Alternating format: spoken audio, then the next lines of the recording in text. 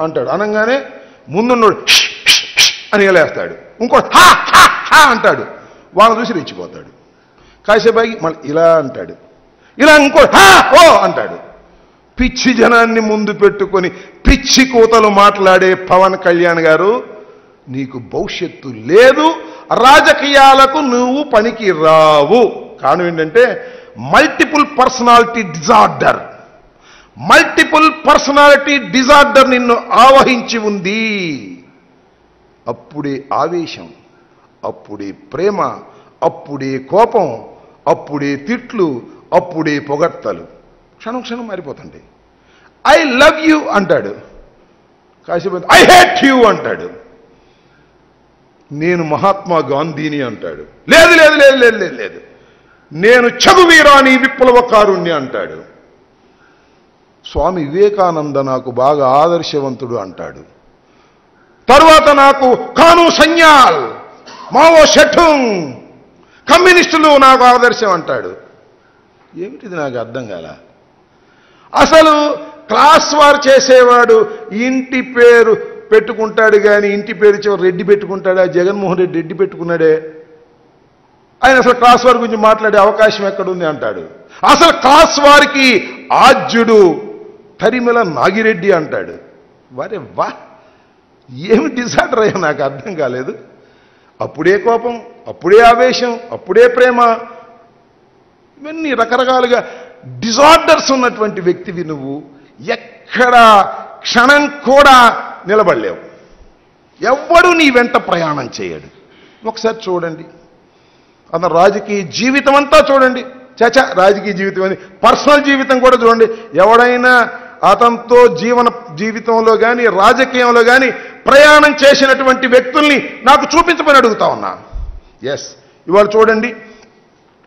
ఆయన సరే రాపాక వరప్రసాద్ గారు ఆయన ఓడిపోయి ఈయన గెలిచాడు. ఈయన వెళ్తే ఆయన ఏం చేశాడు తెలుసా మీకు?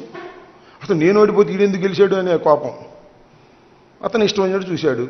అతను అక్కడ ఇక ఉమ్మడలేకపోయాడు మా దగ్గరికి వచ్చేసాడు. అంతే దేడా పార్టీలకు ఈ పార్టీలకు రాలేదు కానీ మాతో పాటుగా ఉంటున్నాడు ఇవాళ. అతను చూసి భరించలేవు. నేనే ఓడిపోతే నా గుర్తు మీద గెలవడానికి నువ్వే ఓడివి అనేటువంటి ఒక డిజార్డర్ నీకు. అక్కడ దాకా ఎందుకు జేడీ లక్ష్మణ మేధావి అంటారు మాకేం గిట్టదులే ఆయన అంటే. ఆయన కూడా నీతో ప్రయాణం అయ్యాడుగా ఉన్నాడా? బుష్ వెళ్ళిపోయాడు. రామ్మోహన్ రావు గారు ఐఏఎస్. ఎస్సీ తమిళనాడు సిఎస్గా తమిళనాడుగా పనిచేశాడు. ఉన్నాడా? వచ్చాడు పాపం.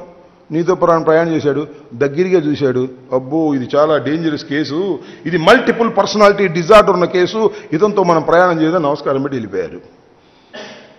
అలాగే పివి రావు గారు కమిషనర్గా చేశాడు. ఇన్కమ్ ట్యాక్స్ ఆయన అంతే. దగ్గరగా చూశాడు. మేధావులు వీళ్ళందరూ కూడా మేధావులు.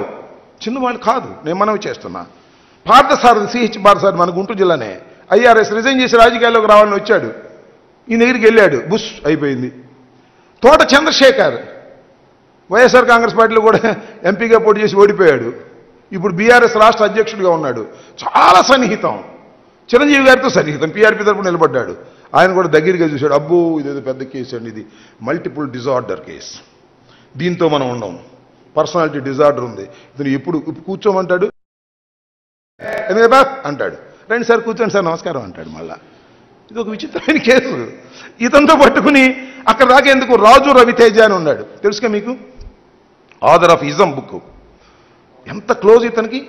Is the founder almost all is the founder of Janasena. ఏమైపోయాడు బుష్ వెళ్ళిపోయాడు. ఎందుకంటే దగ్గరిగా చూశారా? అవుటు దూరంగా ఉంటే హ ఇది హ ఇది మనం టీవీలో చూస్తే. ఏంటిది నాకు అర్థం కాల? నన్ను రానియరు మీటింగ్లకు నేను వస్తే బాధ నాకు అన్నిటిని ఫేస్ చేయడం తెలుసు. నేను కూడా రౌడీజం చేసిన నల్ల మనోహర్ రెడ్డికి ఈ బ్యాక్గ్రౌండ్ మాకు తెలియదు. నాకు రౌడీగా గుండా కూడా చేసారు హండ్రెడ్ పర్సెంట్. మనోహర్ రెడ్డి హంగుల ఆర్భాటాల మంది జన సమీకరణ అన్ని చేసిండు కానీ వేదికను కూడా ఎక్కనీయలేదు నిజం నిజంగా నేరుగా. నిర్భయంగా చెప్తా. నేను అనుకున్నంతగా పార్టీ నుంచి నాకు సపోర్ట్ దొరకలేదు ఇంతవరకు. పార్టీ పరంగా కానీ పదవుల పరంగా.